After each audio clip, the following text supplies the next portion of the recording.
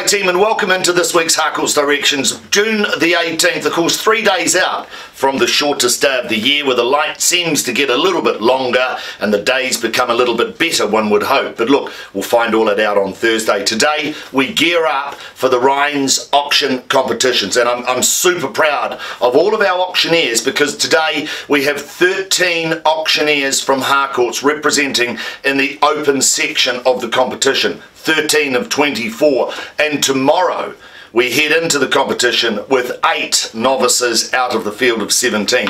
So 21 of the auctioneers appearing for Harcourts out of a total field of 41. So a great, uh, great attribute, of course, to the Harcourts auction culture and all of those contestants that have gone into this competition. Competition starts this morning. It starts at 9 o'clock and uh, we head into that. The, the team are in lockup from 8am, so it's a big day for some of them. And we've got, as I've said, 13 of our auctioneers. Tomorrow afternoon though, at around about 2 o'clock, uh, Ross Patterson from Harcourts Bay of Islands brings to the table six school auction contestants. And uh, Ross has been running the Schools Idol uh, competition for the last couple of years, and we've incorporated that into the REINZ auction competition. So Ross brings down six uh, new contestants, and they're going to vie for the all-important uh, position of auction Schools Idol as they head into that competition tomorrow afternoon at 2 o'clock. Of course, the finals are around about 3.30 tomorrow afternoon. From the uh, 24 in the open heats today, they go down to